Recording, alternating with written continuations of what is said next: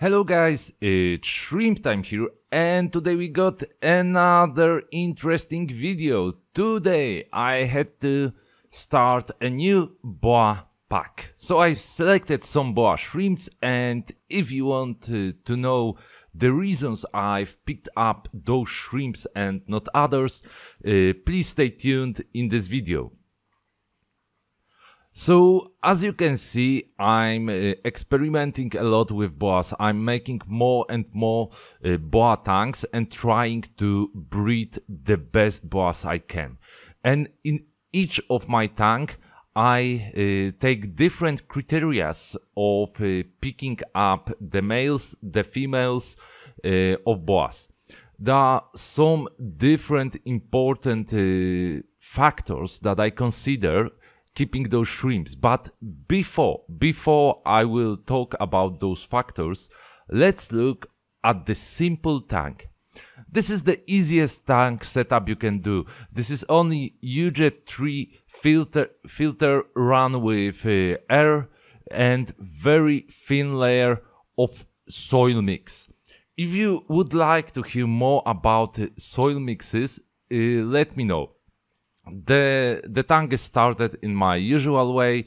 I use uh, Lubao for the stand start, bacterias, uh, and some powder bacterias like Benibachi B-Max, like uh, SL Aqua Magic Powder, or EBF dust uh, from my own brand.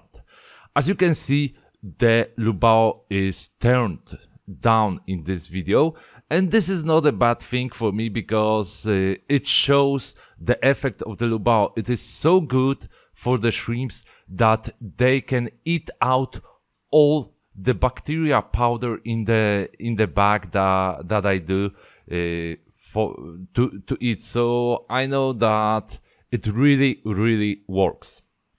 So uh, one last thing, I know you are waiting uh, for a blue bolt film because uh, you voted for that and the next video will be about the blue bolts. And now what we are aiming in this pack. There are few important factors that I considered picking out uh, those boas for breeding. The first one is the really thick back, the re really thick back pattern. And as you can see, the shrimps got extremely good pattern on the back, a thick back uh, that don't have any any spots of black pigmentation. The pigmentation of the of the tail and of the head is very very thick. Another thing I was looking for and I'm always aiming for for that that factor for for that trait is those spider legs, fully covered spider legs with really, really nice definition. As and as you can see, uh, those boas got very nice spider legs. For me, we cannot talk about uh, nicely uh, colorated boas if we don't have nice legs. Another very interesting factor and important for me are those spots or stripes that we can see under the tail. And some of the shrimps got those spots uh, well developed as the one on the left. Some of them unfortunately lack of the spots or have the connection of the top of the of the tail with the bottom. This a bit similar to Vin Shrimp Laughing uh, Red Fancy pattern. And this pattern is quite interesting for me as well. And I know that, that this pack of shrimps will produce me some uh, interesting starts for another selection. And I, I think that I will cover uh, this selection in next videos. Another traits that I took under the consideration but weren't the most important traits is the possibility to produ produce a metallic uh, pigmentation and uh, due to the fact that shrimps are under strong light uh, during making this video you won't be able to see all of this metallic pigmentation. But there is a metal genetics in those shrimps and if I would use another light that isn't so strong, you would see that metal. I also aimed for big uh, head dots, uh, but they weren't the most important factor for me. So as you can see, my pack isn't so big. It's about 8 or 10 shrimps and believe me, if you got a very good genetics, a very nice great shrimps, this will be enough to produce a good offspring, a good shrimps to work with. I think that on, on this setup I I should get some some shrimps uh, that I would will be able to select. This tank won't last for that long, maybe half a year, uh, because uh, I'm bringing my uh, shrimp breeding facility to another place where where I can make put more tanks and uh, dedicate all of my work uh, into the shrimps.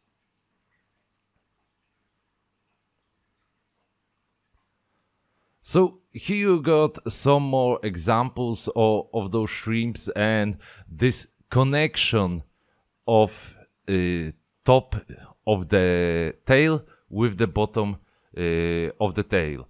You can also see shrimps fasting on the lubao back uh, and that those shrimps love this type of food. But the lubao isn't the, the topic of today's video. Uh, I'm trying to make some close-ups for you that you will be able to see uh, the pattern, the pigmentation, the fact that those shrimps got the ability and got this blue pigmentation as well. Some of them even shows the orange or you can say the goldish pigmentation. I know that from this genetics and this type of shrimps, there are also a, possible, a possibility to get some purple shrimps. But you need to remember that the way that shrimp will show its pigmentation will always depend on the light. Not only uh, on the strength of the light, but also of the color of the light. Uh, you need to remember that if you got very strong light and unfortunately uh, when I'm making those videos I will always need a good strong light because uh, it is necessary to to deliver you this high quality close-ups and sharp uh, image. The coloration of these types of shrimps will not be so good because uh, the camouflage abilities of the shrimps will help them to cover this coloration to hide this coloration that that they've got you can see this by putting by watching your shrimps before you put the light on. If you put the light on uh, and shrimp, the shrimps will be more and better colored than after a day during the light session.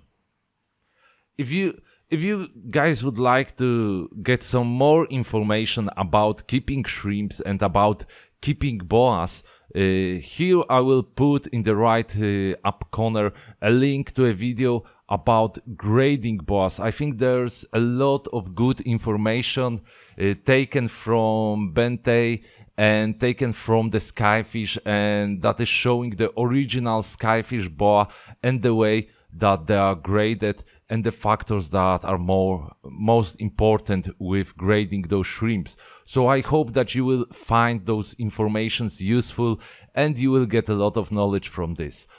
Thank you guys and keep on shrimping. And please remember to subscribe and put the thumb up.